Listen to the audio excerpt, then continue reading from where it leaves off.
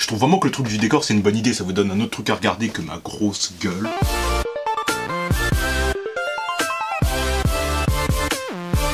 Yo les gens, j'espère que vous allez bien. Comme vous avez vu dans le titre, aujourd'hui on se retrouve pour une vidéo unboxing. La paire que je vais vous montrer, c'est une paire qui est plutôt récente par rapport aux autres paires qui étaient dans ma wishlist. Je veux pas dire de conneries, je sais plus exactement quand elle est sortie, mais je vais vous l'afficher. C'est grave grave mon délire. Moi les couleurs orange, rouge et jaune, c'est grave grave ma cam. Après j'ai juste peur d'un petit truc, c'est que ce soit exactement le même ressenti qu'une Jordan Low. J'aimerais bien que ce soit un modèle un peu différent. De toute façon, comme d'habitude, je vais vous faire un unboxing complet et je vais vous donner mon avis, mon ressenti, comment la paire taille, quelle taille il faut prendre du coup, enfin quelle pointure, et voilà quoi.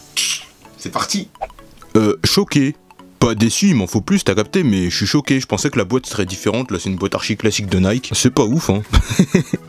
bon, comme je vous ai dit, j'avais gagné un giveaway chez We New. Donc, les boîtes étaient un peu compressées entre elles. Donc là, euh, la boîte est pas dans un super bon état. Bon, c'est pas grave, de toute façon, je compte pas la garder vu à quel point elle est nulle. Je vais l'acheter dès que j'ai unboxé la paire. En chopant la paire, j'étais tellement excité d'avoir gagné. J'ai fait preuve ni d'intelligence ni de patience. J'ai pas regardé si la dunk taillait normalement. J'espère que c'est le cas parce que sinon, je suis un peu mal. J'ai pris en US 11, donc 45. J'espère que ça m'ira. Donc, je pense qu'on a fait le tour avec la boîte. On va directement passer à la paire. Vous voyez là par contre la boîte n'est vraiment pas en bon état, elle était compressée avec les autres.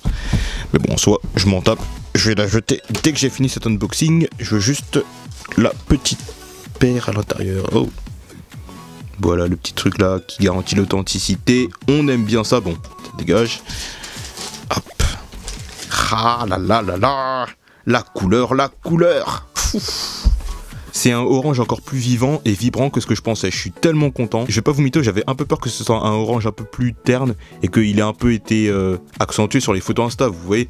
Mais non, orange vraiment top. Ça me fait grave penser à une Jordan One Low en fait. Mais les couleurs là, divin. C'est que en cure en fait. Il y a que du blanc et du orange, les couleurs très simples, mais ce sera nickel pour l'été. Là, la sole en orange. Cette paire, si je me sens bien dedans, je vais lui faire vraiment mal. hein. Je vais tout le temps la porter. Non, franchement, il me fallait une paire comme ça. Top, top, top. J'adore. Par contre, ça, tu connais, j'avais déjà vu avant de l'acheter, mais j'étais tellement manipulé par la couleur, il me la fallait quand même.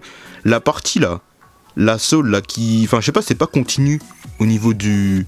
Vous voyez ce que je veux dire? Là, il y a un creux là. Après, ça revient normalement. Après, il y a re un creux. Enfin, je sais pas. J'ai pas compris le délire. C'est pas un truc que je trouve ultra beau, mais bon. C'est minime, c'est du détail. N'hésitez pas à me dire ce que vous en pensez et comment ça s'appelle. Magnifique. Magnifique. Nick. Non, Nike fait quand même du bon taf. Même si la cote là a beaucoup trop augmenté. Le truc était à 100 balles de base, là il se revend à plus de 500. C'est quand même ultra abusé. Donc à l'intérieur de la boîte, il y avait une autre paire de lacets blancs. Ça peut être pas mal d'essais en blanc. Quoique non, je pense que je vais garder les oranges. Ce sera peut-être mieux. Donc là, assez parlé, je vais directement la porter et vous dire comment je me sens dedans. Et vous dire surtout si c'est à la bonne taille ou si j'aurais dû euh, bah, pas faire le con et prendre à ma taille, t'as capté. C'est-à-dire une demi-taille au-dessus. Tchuss Ouais, comme je disais, bon, pour moi, c'est pratiquement le même ressenti que les Jordan One Low. hein. C'est vraiment très très similaire. À quelques détails près, dans le sens où la paire me paraît un peu plus bombée à l'avant et un peu à l'arrière. Genre vraiment sur le devant de la paire et à l'arrière. Pas au milieu, juste sur le devant et l'arrière de la paire. Je sais pas si mes descriptions aident, mais en gros, euh, prenez votre taille normale. Moi, j'ai pris 45, ça me va très bien, il y a aucun souci. La semelle est pas très épaisse, hein, comme pour les Jordan Low. Il y a aucun problème niveau ressenti. La paire est bien rigide comme on s'y attendait. Elle maintient bien le pied. Donc, aucun problème de sizing. Prenez votre taille habituelle, vous aurez pas de mauvaise surprise. Donc voilà, aucune mauvaise surprise avec cette paire. Je suis tellement content. Le coloris là, c'est tellement ma cam. Je vais la saigner en été là, vu qu'il y a aucun problème de pointure. Là, je suis tellement refait. Avec des chaussettes hautes, un petit short, ça va tellement bien passer. Un t-shirt qui fait un rappel. Ah putain, je suis pressé d'être en été là. N'hésitez pas à me dire ce que vous pensez de la paire en commentaire et du coloris bien bien flash. La perso, j'adore. Moi, je vous dis à bientôt pour une prochaine vidéo. Portez-vous bien les gens. Tchuss